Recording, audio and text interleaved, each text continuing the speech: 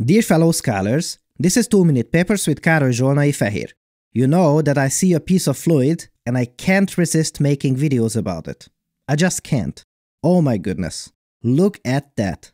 These animations were created using the material point method, or MPM in short, which is a hybrid simulation method which is able to simulate not only substances like water and honey, but it can also simulate snow, granular solids, cloth, and many many other amazing things that you see here. Before you ask, the hybrid part means that it both uses particles and grids during the computations. Unfortunately, it is very computationally demanding, so it takes forever to get these simulations ready. And typically, in my simulations, after this step is done, I almost always find that the objects did not line up perfectly, so I can start the whole process again. Ah well. This technique has multiple stages, uses multiple data structures in many of them, and often we have to wait for the results of one stage to be able to proceed to the next. This is not that much of a problem if we seek to implement this on our processor, but it would be way, way faster if we could run it on the graphics card, as long as we implement these problems on them properly. However, due to these stages waiting for each other, it is immensely difficult to use the heavily parallel computing capabilities of the graphics card.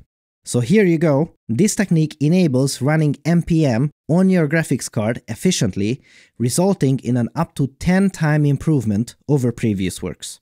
As a result, this granulation scene has more than 6.5 million particles on a very fine grid and can be simulated in only around 40 seconds per frame.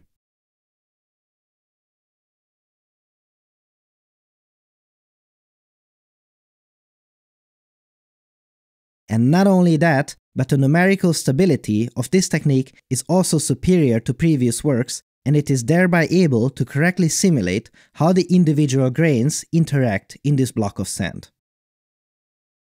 Here is a more detailed breakdown of the number of particles, grid resolutions, and the amount of computation time needed to simulate each step. I am currently in the middle of a monstrous fluid simulation project, and oh man, I wish I had these numbers for the computation time. This gelatin scene takes less than 7 seconds per frame to simulate with a similar number of particles. Look at that heavenly gooey thing. It probably tastes like strawberries. And if you enjoyed this video and you wish to help us teach more people about these amazing papers, please consider supporting us on Patreon.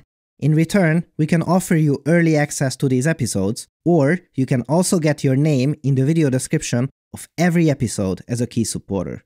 You can find us at patreon.com slash 2minutepapers. Thanks for watching and for your generous support, and I'll see you next time.